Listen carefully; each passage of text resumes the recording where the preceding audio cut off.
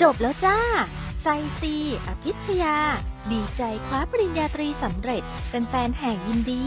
ขึ้นแท่นเป็นบัณฑิตป้ายแดงแล้วสำหรับนักแสดงสาวไซซีอภิชยาแท้จัง หลังออกมาประกาศข่าวดีเรียนจบการศึกษาในระดับปริญญาตรี ที่วิทยาลัยนานาชาติจีน มหาวิทยาลัยกรุงเทพเป็นที่เรียบร้อยแล้วค่ะ ล่าสุดเธอก็ได้ออกมาโพสต์ภาพอวดความสดใสในชุดนักศึกษา ลงอินสตาแกรมส่วนตัว พร้อมกับเขียนข้อความแจ้งว่าจบจริง ๆ แล้วครับเจอกันวันที่ 20 กับ 26 พฤษภาคมนี้นะคะ มหาวิทยาลัยกรุงเทพรังสิต ส่วนเวลาซีจะมาแจ้งอีกทีนะคะ เคลียร์คิวกันให้ว่างนะ มาเจอกันนะคะ งานนี้ก็มีเพื่อนๆในวงการบันเทิงและแฟนคลับ ที่เข้ามาแสดงความยินดีกับสาวไซซีเป็นจำนวนมากค่ะ